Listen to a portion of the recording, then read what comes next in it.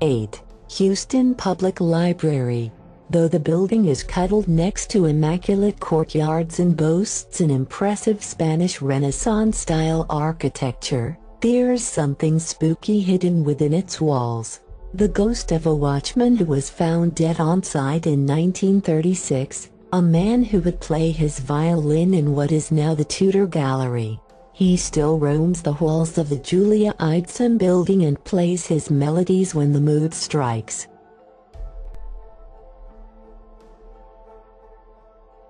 Seven, Murray and Leonie Guggenheim Memorial Library.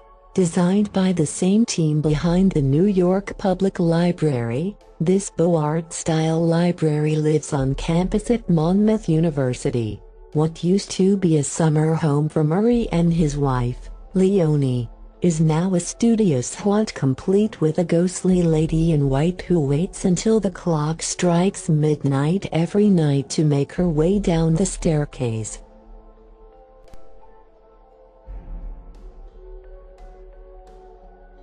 6. Saline County Library. Set up in the Old Palace Theater from 1967 to 2003, the Saline County Library inherited the theater's ghostly inhabitants. Librarians have reported hearing phantom footsteps, seeing objects move by themselves, and recognizing the faint click of an old typewriter even though there's not a single archaic machine to be found on the grounds. The library has since moved on to another location, however, we have to wonder if it took any floating stowaways with it.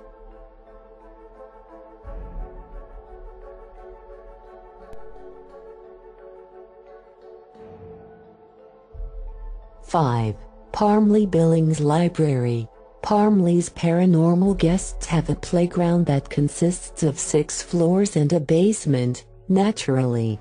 There's a six-foot-tall entity Haas called dibs on the kitchen and lounge areas, a bespectacled brunette who floats around the third floor, and an intense woman who shares the basement with a gray blob of a ghost. No one really knows why the library is home to so many ghosts, other than the fact that even the deceased love to lose themselves in a good story.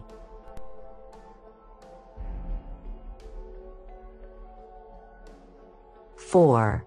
Blanche Skiff-Ross Memorial Library. Located on the Cottey College for Women's campus, the library now stands over what used to be Ammerman Sanatorium, the site of several deaths. One, in particular, is that of music student Vera Netzert, who died there due to severe burns she incurred from a candy-making accident. She still roams the library and campus, along with a few others including a man in a smoking jacket who prefers the balcony and a couple of Victorian girls who like to play on the stairs. 3. Pattee Library Several nooks and crannies of Penn State University are said to be haunted the Schwab Auditorium, Watts Hall, and, yes, Pattee Library. Students have reported seeing the red glow of what appears to be a set of eyes, transparent ghost girls bookmarking a few favorites, and book hearts moving without someone to push them.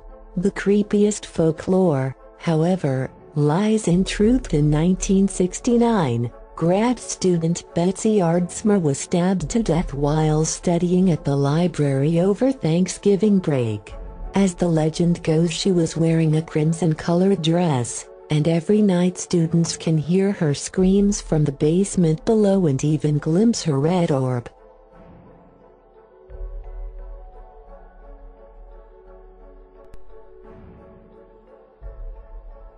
Two, Peoria Public Library. Not even religious self-help books can save a library that's built on cursed ground. Lore has it that a woman named Mrs. Andrew Gray lost her home to foreclosure in 1830, then doomed the property and all of its future owners.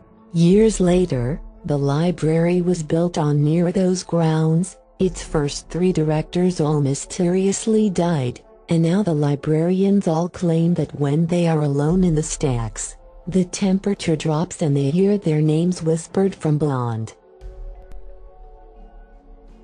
1. The Willard Library, Evansville, Indiana. Home to volume upon volumes of the written word, the Willard, built and stocked in the 1800s, is Indiana's oldest public library.